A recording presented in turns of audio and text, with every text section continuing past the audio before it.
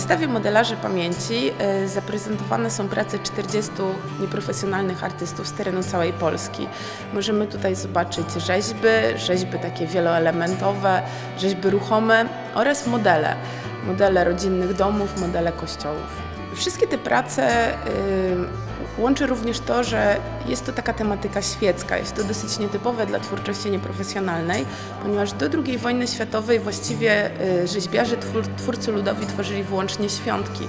Y, właściwie prace o tematyce świeckiej, takiej codziennej, pojawiły się bardzo późno, najczęściej z inspiracji różnych mecenasów, kolekcjonerów, którzy odkrywali ludowych rzeźbiarzy i też namawiali ich do podejmowania takich nietypowych tematów. Więc można było powiedzieć, że takie dokumentacje codzienności powstały z inspiracji zewnętrznej, jednak są takim bardzo ciekawym przykładem e, takiej, e, takiego autowizerunku ludzi mieszkających na wsi, ponieważ zaczęli oni tworzyć portrety takiego codziennego życia, e, pokazywali jak wyglądają miejscowe święta, e, jak wygląda praca codzienna. Tworząc te prace e, starali się zachować jak najwięcej szczegółów, czyli jeśli portretowali człowieka z jakimś konkretnym narzędziem, no to w wielu detalach oddawali kształt tego narzędzia. Można zobaczyć, że takie różne detale i szczegóły były dla nich bardzo istotne. Po prostu dokumentowali rzeczywistość y, taką, jaką ją widzieli, albo taką, jaką ją pamiętali. Jan Michalak z Wichrowa koło Wrocławia, który urodził się na Łemkowszczyźnie na początku XX wieku, zajmował się w swoim życiu y, kołodziejstwem, był też cieślą. Tych zawodów się nauczył od ojca. Tutaj na Dolnym Śląsku był również rolnikiem.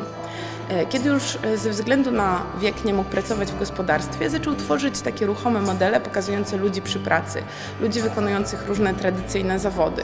E, te prace umieszczał przed domem i poruszane przez wiatr wiatraki wprawiały postacie w ruch. Co ciekawe, wszystkie elementy tych prac tworzył on sam. I elementy konstrukcyjne, i figurki, które znajdują się w tych rzeźbach, a nawet stroje, które się na nich znajdują.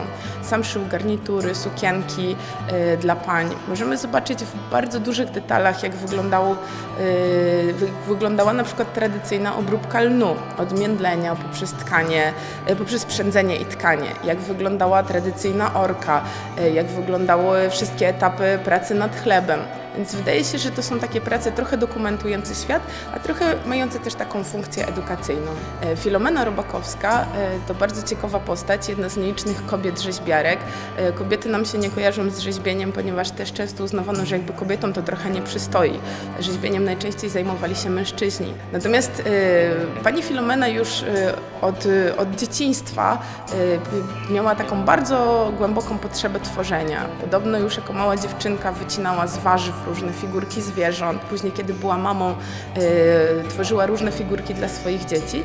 I kiedy też już była starsza, to jest taka typowa historia, że ci twórcy często dopiero kiedy już nie mogli i nie musieli pracować w gospodarstwie, mieli czas na realizowanie jakichś własnych pasji, dopiero kiedy była starsza, zaczęła tworzyć figurki z drewna. Na początku się tego wstydziła i te figurki chowała, natomiast córka i zięć namówili ją, żeby pokazała swoje prace w Muzeum w Łęczycy.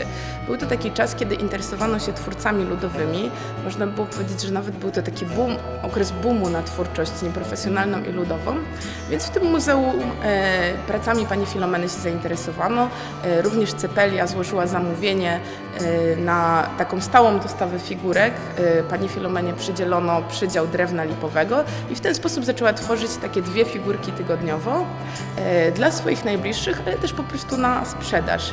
E, I co ciekawe, kiedy ją zapytano, czemu to robi e, i co jej to daje, to powiedziała coś takiego bardzo przyziemnego, ale też poruszającego. Powiedziała, że pierwszy raz w życiu ma swoje własne pieniądze, co też pokazuje, jak kiedyś żyły kobiety na wsi. Mimo, że pracowały całe życie, to właściwie nigdy nie były samodzielne, nigdy nie były zupełnie samą wystarczalne. E, natomiast kiedy ona stała się artystką, kiedy została doceniona, kiedy mogła po prostu pracować zarobkowo, po raz pierwszy właśnie e, odzyskała jakąś taką samodzielność. Pracy te łączy wspólna intencja twórców. E, najczęściej te rzeźby, modele i takie ruchome konstrukcje powstawały po to, żeby zachować pamięć o jakimś elemencie rzeczywistości, który dla tych ludzi był bardzo istotny. E, w ten sposób powstawały na przykład modele rodzinnych domów, po to, żeby dzieci pamiętały, jak wyglądał dom, w którym wychował się ich tata, e, w którym one się wychowywały, kiedy były jeszcze małe. W ten sposób powstawały modele kościołów w rodzinnych miejscowościach albo w miejscowościach, z których dana społeczność pochodziła. Tak jest na przykład w przypadku modelu kościoła z Grabasznicy na terenie Bośni.